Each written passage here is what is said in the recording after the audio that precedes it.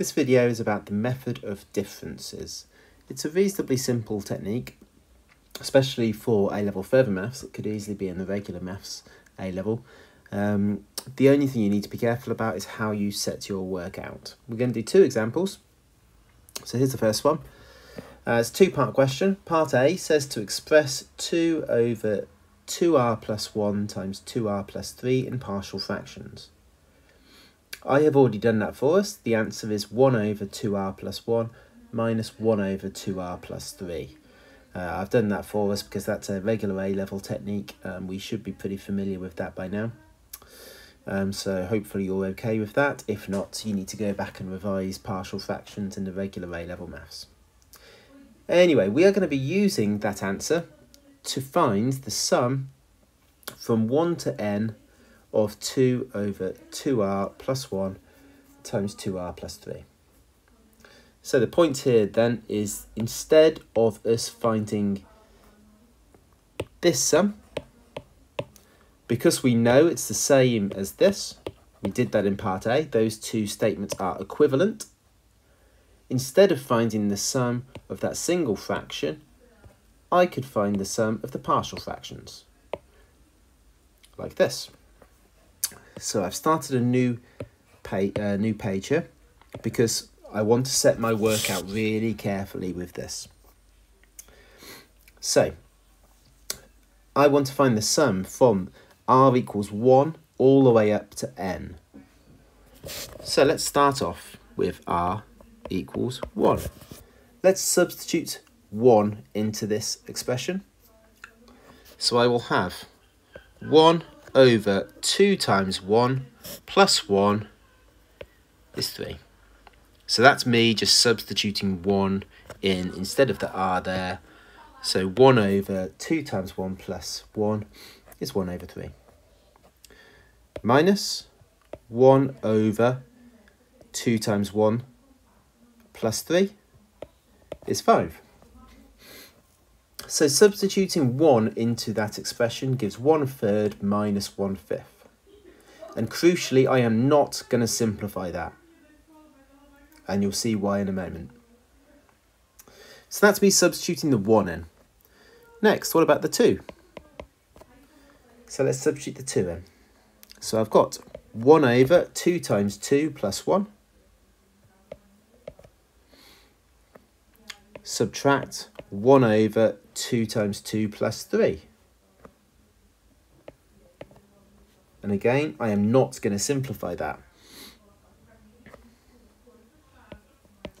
Next,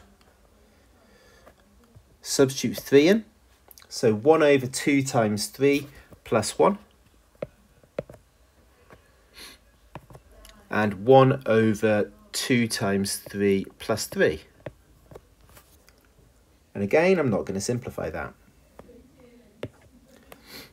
And I could keep on going. I could substitute the 4 in, and I'd get another number here, take away another number here, and so on. I want to go all the way up to r equals n. And I'm actually going to do a couple of terms before that as well the penultimate term, the second last term in this sequence would be the n minus 1 term. The one before that would be n minus 2.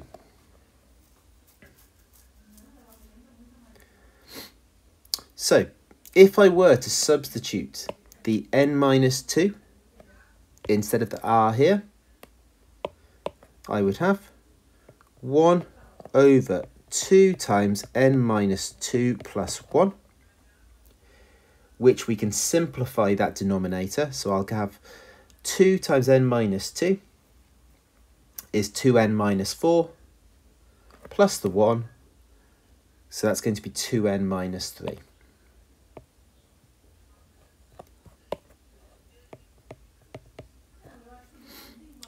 Minus 1 over 2 times n minus 2 plus 3. Again, we can simplify that denominator. 2 times n minus 2 is 2n minus 4, plus the 3 will be 2n minus 1.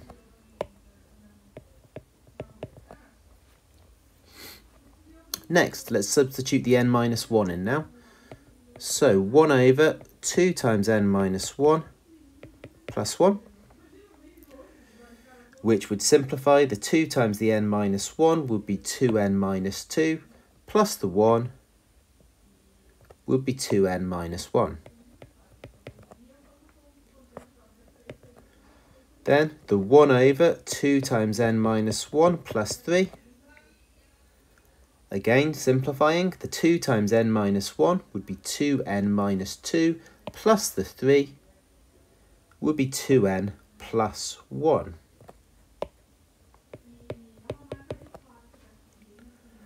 And then finally, substituting the n in, I'll have 1 over 2n plus 1 minus 1 over 2n plus 3. Right, that is all of the uh, long, laborious bit done. Now we have the nice, hopefully simple bit of spotting some cancellations. Because remember, there's a reason why I didn't simplify all of these things previously. I didn't want to work out what one fifth, one third minus one fifth was. I didn't want to simplify that because now, just looking down the way I've set this out, I can see that when I add all these things together, which I'm going to do because it's a sum, the minus one fifth here would cancel out with the plus one fifth here. The minus one seventh here would cancel out with the plus one seventh here. The minus one ninth here would cancel out with a minus one ninth here and so on. There would be another term here that would cancel out with this 1 over 2n minus 3. We can see this term here is going to cancel out with this term here. And then finally, we can also see that this one uh, minus 1 over 2n plus 1 is going to cancel out with this. So by adding all of those terms together, the only thing that doesn't cancel out is the one third at the beginning and the minus 1 over 2n plus 3 at the end. And all I want to do now is simplify this. So I want to get a common denominator. So for cross multiply,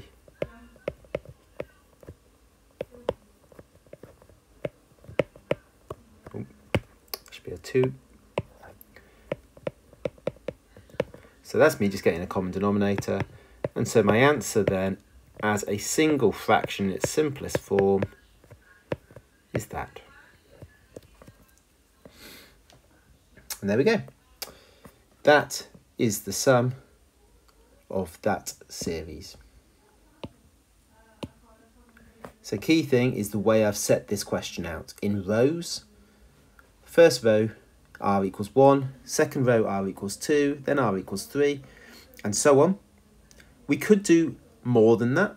We could do four rows, and then also do the n, n minus 1, n minus 2, n minus 3. We could do that, but I certainly wouldn't do any less than what I've done there. It's really important to do that at least that to give you a chance of spotting the pattern.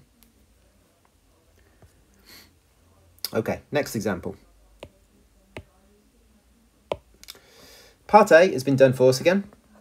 So we've expressed uh, 2 over uh, r plus 1 times r plus 3 in the partial fractions, and it's the same thing as 1 over r plus 1 minus 1 over r plus 3. Part B, hence, we need to show that the sum from the first term to the nth term is equal to that n times 5n plus 13, or either the 6n plus 2n plus 3. And we'll come back and we'll do part C in a moment. So let's get a fresh sheet with lots of room so that we can set this out carefully. And literally, uh, if I was if I was sat here in front of you with a piece of squared paper, I would probably use up a whole side of A4 for this. It's really important you organise this carefully. So, the first term, r equals 1. So substitute the 1 into this first term. 1 over 1 plus 1 is 1 half. 1 over 1 plus 3 is a quarter. And remember, I am not going to simplify that. I'm going to leave it like that.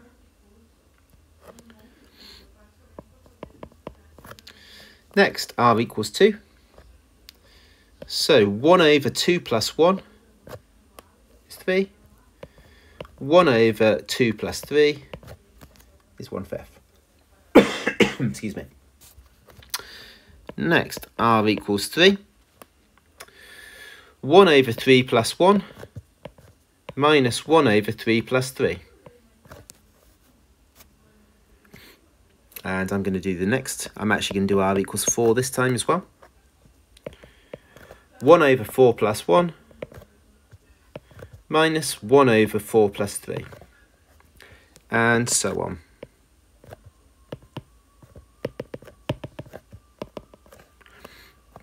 At the bottom here, I'd have r equals n. I'm going to do r equals n minus 1, r equals n minus 2, and obviously there would be other terms as well in the middle. Right, substituting the n plus, uh, sorry, the n minus 2 in now. So we've got 1 over n minus 2 plus 1 which is just going to be sim that's just going to simplify to be uh, 1 over n minus 1.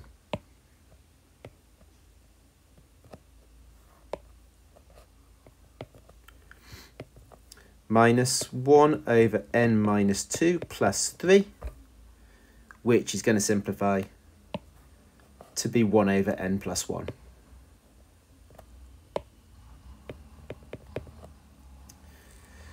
Next, 1 over n minus 1 plus 1 would simplify just to be 1 over n.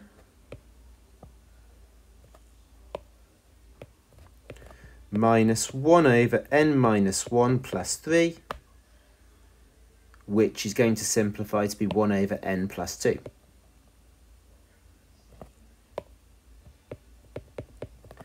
And finally, we have the 1 over n plus 1 minus 1 over n plus 3.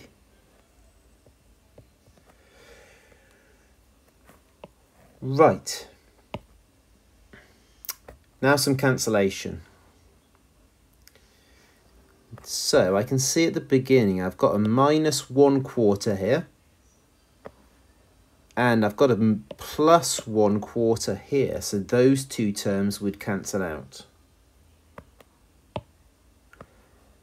I've got a minus one fifth here, and I've got a plus one fifth here. So those terms would cancel out. I've got a minus one sixth that would cancel out with the next term here. The minus one seventh would cancel out with the next term and so on.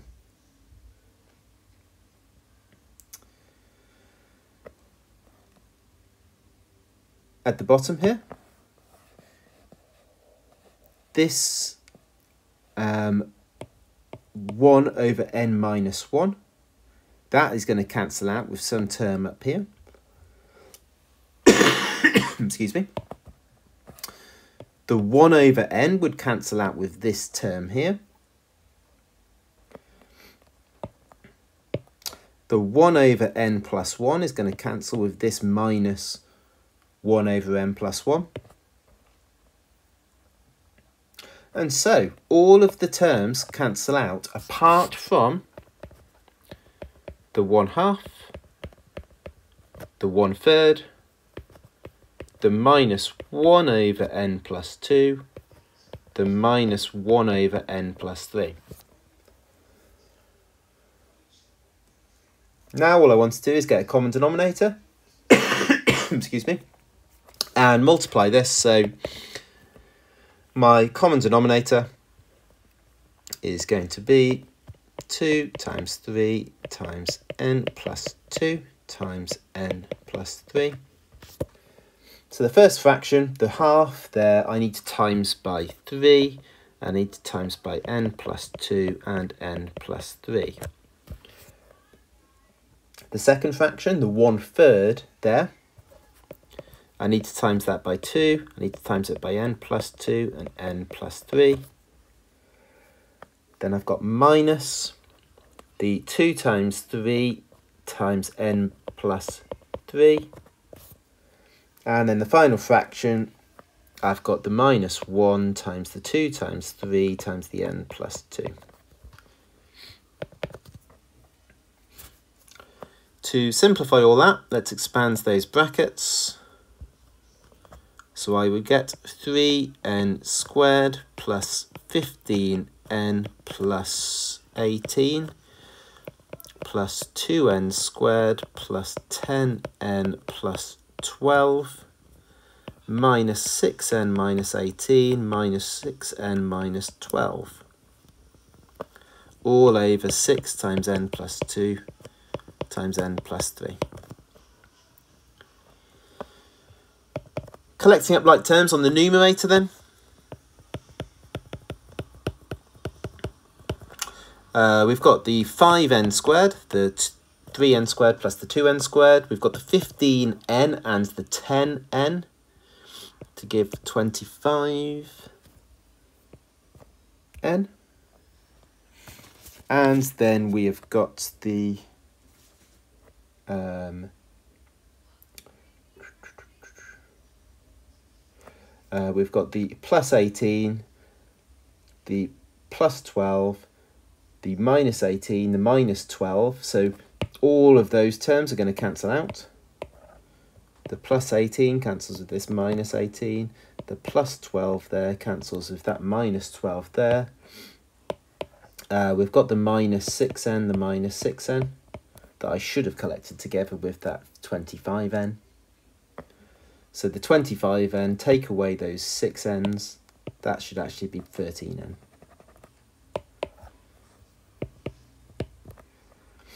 The only other thing I need to do here to make it look like what I was asked to show is factorise an n outside. And there we go. That was the result that I was asked to prove. So all of this stuff down the right hand side, all of this is just algebra, nothing new there. That's just some algebraic fractions. The key thing on the left hand side here is setting your work out really carefully. Notice that I did four, one, two, three, four rows here to help me spot the pattern.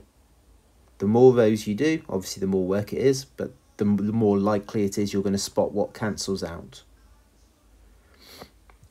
Right, let's just go back to that question and finish it off because there was a part C of that question where it said evaluate the sum from the 10th term to the 100th term of that uh, of that series which actually this is more of a, um, a year 12 question a year 12 further maths question because hopefully you remember to do this, I am going to work out the sum of the first 100 numbers. I'm going to do the sum from 1 to 100. And then I'm going to take away the numbers that I don't want. So I'm going to take away the first 9 numbers because I only want to do the sum from the 10th number onwards. So I take away the first 9. Now I can use this result to work out the answer to both of these sums. So the first one, n is 100, so I would do 100 times 5 times 100 plus 13 over 6 times 100 plus 2 times 100 plus 3. So the answer to that calculation would be the sum of the first 100 terms. And then I'll take away the first 9 terms, so n is 9 now.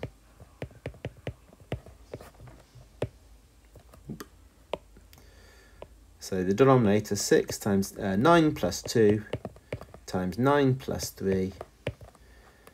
And then, um, yeah, whatever answer we get there, that would be the sum from the 10th term up to the 100th term. So I'll, I'll let you type that into your calculators and figure that out. That's not the point of the video. The point of the video is how we're setting our work out. That's what's crucial.